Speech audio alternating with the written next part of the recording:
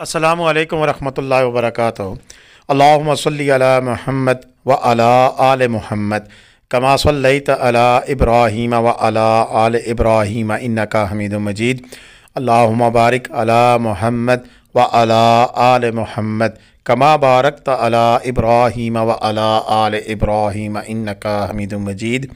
लातदाद रुदोसलाम मेरे और आपके प्यारे तसोन तो मनमोन आका हज़रत मोहम्मद मुस्तफ़ा अलैहि वसल्लम पर, आपकी आल पर और आपके असाब पर।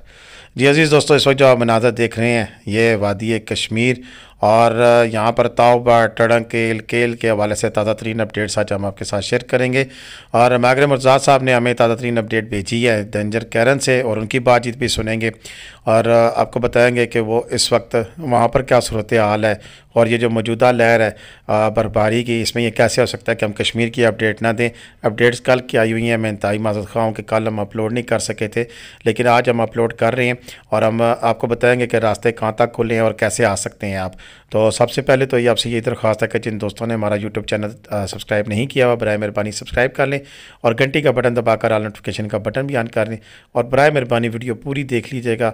वीडियो में आगे मागरे साहब का भी नंबर मौजूद होगा, मेरा भी नंबर मौजूद होगा लेकिन आप वीडियो पूरी देखेंगे तो काफ़ी सारे आपके सवाल के जवाब आपको मिल जाएँगे। तो अभी चलते हैं मागरे मुर्तज़ा साहब के पास देखते हैं कि वो हमें डेंजर कैरन से जो कश्मीर वहाँ से हमें अपडेट दे रहे हैं कि क्या सूरत हाल है क्या कुछ हो रहा है।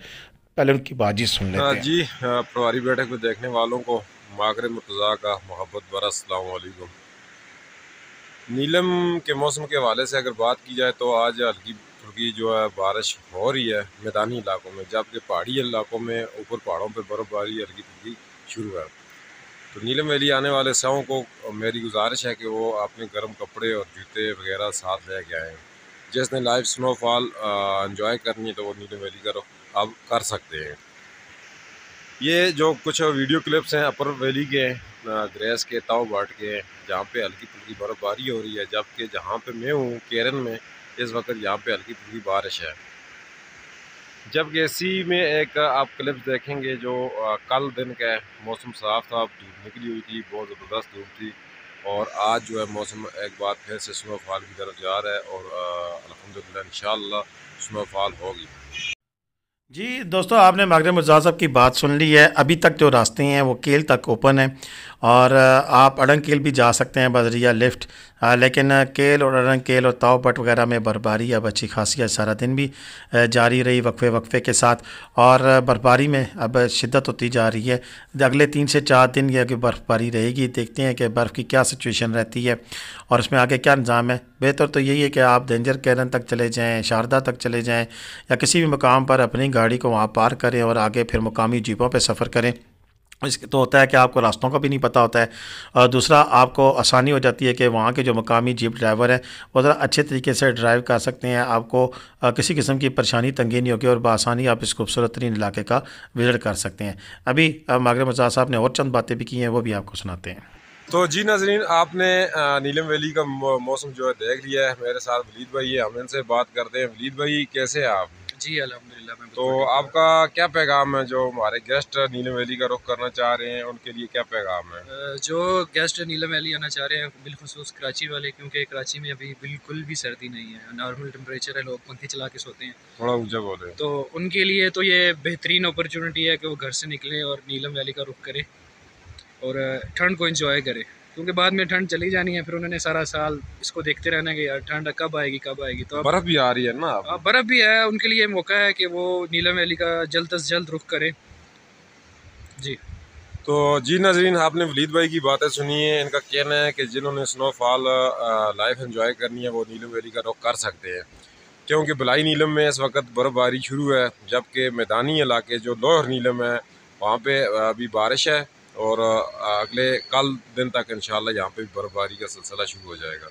इसी के साथ अपने मेज़बान मुख्तार मागरे को दीजिए इजाज़त, सुकून घर से, अल्लाह हाफ़ जी दोस्तों मगरब मुर्तज़ा साहब सुकून कार डेंजर कैरन से, जो कि एक गेस्ट हाउस है, होटल है, बड़ा ज़बरदस्त वहाँ से हमें अपडेट दे रहे थे। तो इन मज़ीद भी जैसे ही बर्फबारी होती है तो ताज़ा तरीन अपडेट्स हमें मिलती रहेंगी और हम आप तक पहुँचाते रहेंगे। ये उनतीस जनवरी दो हज़ार चौबीस की ताज़ा तरीन जो बर्फबारी है, उसकी अपडेट्स हम दे रहे हैं। पहाड़ों पर आके बर्फ़ लगी हुई है। ये डेंजर से आपको क्लिपिंग हम दिखा रहे हैं कि यहाँ पर इस वक्त क्या सीन है। और जो भी दोस्त आना चाहते हैं, सबसे पहली तो बात यह है कि जहाँ भी पाकिस्तान के किसी भी सियाती मरकज़ पर जाएँ तो वहाँ के डिस्ट्रिक्ट एडमिनिस्ट्रेशन के जो नंबर है, उन पर कॉल करके या हमारा चैनल को फॉलो करें और हमारे चैनल से जो अपडेट्स आपको मिल रही हों, उसके मुताबिक आप सफ़र करें तो इन आपको किसी किस्म का मसले मसाल का सामना नहीं करना पड़ेगा।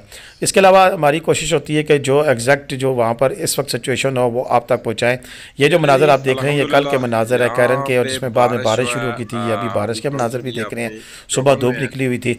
और बाकी जो पहले मनाजर हैं उसमें केल अड़ंग केल तोबट के मनाजर हैं वो भी हमने आपको दिखाए हैं। तो इस पूरी बैट में अभी जो बर्फबारी है वो केल से आगे आगे जारी है केल अड़ंग केल तोबट इन इलाकों में बर्फबारी हो रही है इसके अलावा पीछे चनासी कश्मीर में बर्फबारी हो रही है गंगा चोटी पे बर्फबारी हो रही है। पीछे आ जाए तो मरी नथिया गली स्वाद कलाम और मालम जब्बा कबीन जब्बा के इलाकों में इसी तरह कुमराट वैली में भी बर्फबारी का सीज़न शुरू हो चुका है। तो आज की वीडियो मेरी इतनी थी इनशाला मजीद जो क्लिप्स भी मगर मुझे भेजेंगे वो हम आप तक पहुँचाएँगे। अब तक के लिए इतनी तो इजाज़त है। पाकिस्तान जिंदाबाद, पाकिस्तान पाइंदाबाद। जीते रहे, खुश रहें, आबाद रहे। अपनी दुआओं मुझे लाजमी याद रखिएगा। कमेंट करना, शेयर करना बिल्कुल भी मत भूलिएगा। इजाज़त दें। अल्लाह हाफिज़।